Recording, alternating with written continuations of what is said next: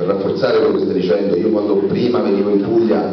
i, i primi anni che lavoravo, in qualche modo la Puglia Commission non esisteva neanche,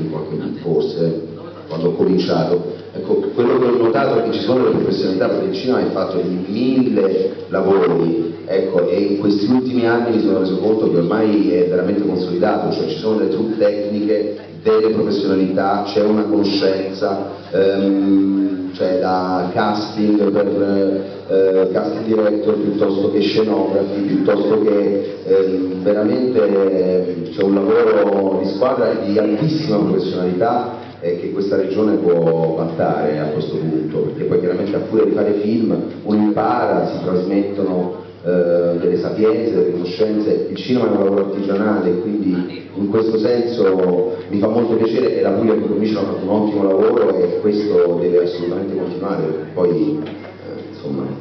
arrivano le truppe da Roma, dall'estero, spendono tanti soldi e la regione in qualche modo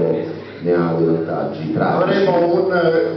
un nuovo e un'anticipazione assoluta che faccio, un nuovo eh, come dire, supporto ai talenti pugliesi con il prossimo bando che stiamo per lanciare che sarà eh, indirizzato proprio alla crescita dei talenti pugliesi perché fino ad ora eh, si potevano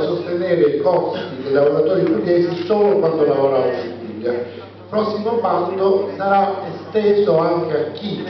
cominciando film nella nostra regione, andrà a lavorare fuori,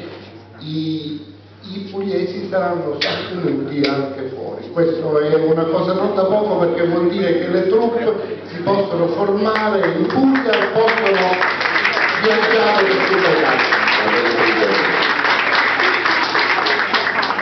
Diciamo che anche con un festival cinematografico poi la filiera è completa, no? si chiude il cerchio in qualche modo, la promozione serve anche a questo. Siamo Per questo serve il Vediamo- sostegno alle sale quando i film vanno proiettati nelle sale, quindi va data una particolare attenzione al momento finale.